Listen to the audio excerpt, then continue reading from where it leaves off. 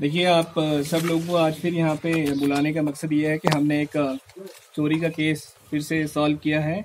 उसी के बारे में आपसे कुछ डिटेल्स शेयर करनी थी, जिसके लिए आपको यहाँ पे बुलाया गया है।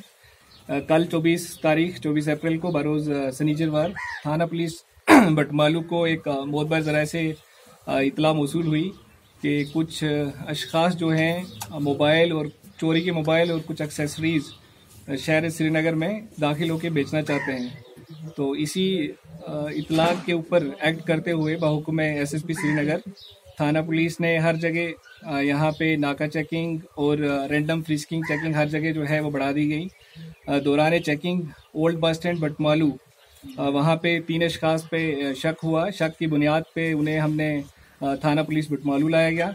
तो थाने में लाने के बाद जब पूछताछ की गई तो पूछताछ करने के बाद उन्होंने ये जुर्म अपना तस्लीम किया कि तेईस चौबीस की इंटरवीनिंग नाइट को गांधरबल में एक बिहामा एरिया में एक दुकान से इन लोगों ने जो है ये सारे मोबाइल दुकान तोड़ के चोरी किए थे।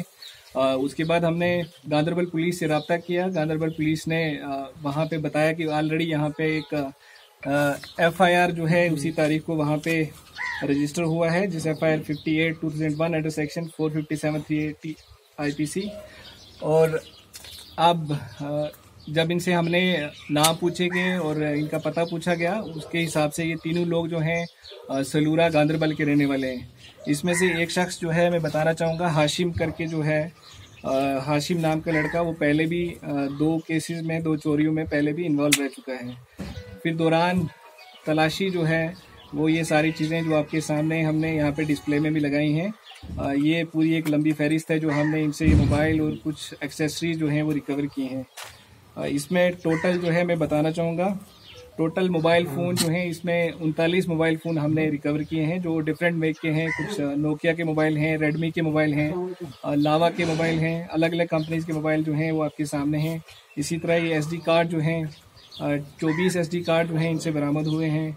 सैंड डिस्क हैं कि कोई नो सैंड डिस्क जो हैं वो इनसे बरामद हुई हैं। उसके अलावा एक पावर बैंक है यूएसबी केबल हैं छः आपके सामने। मोबाइल चार्जर दो रिकवर हुए हैं ईयरफोन एक रिकवर हुआ है और ब्लूटूथ एक जो है वो इनसे रिकवर किया गया है। और अब हम ये लीगल फॉर्मेलिटीज़ करने के बाद जब हमें पता है कि इनका एफ़ आई आर ऑलरेडी गांधर गांधरबल पुलिस स्टेशन में रजिस्टर्ड है after doing all the legal formalities इन्हें हम हैंड ओवर जो है वो गांधरबल पुलिस के हैंड ओवर किया जाएगा। बेसिकली ये यहाँ रहने वाले नहीं है। ये सलोरा गांधरबल के रहने वाले हैं। उसी दिन जो है यहाँ पे आए थे। इन्होंने आके यहाँ पे सामान बेचना था। तो उसी में ये जो हमारी इन्फॉर्मेशन थी, उसके हिसाब से हमने इन्हें पकड़ लिया। है इसका ऑलरेडी जैसे मैंने आपको बताया एफआईआर जो है, वो गांधरबल में ही रजिस्टर्ड है गांधरबल पुलिस स्टेशन में।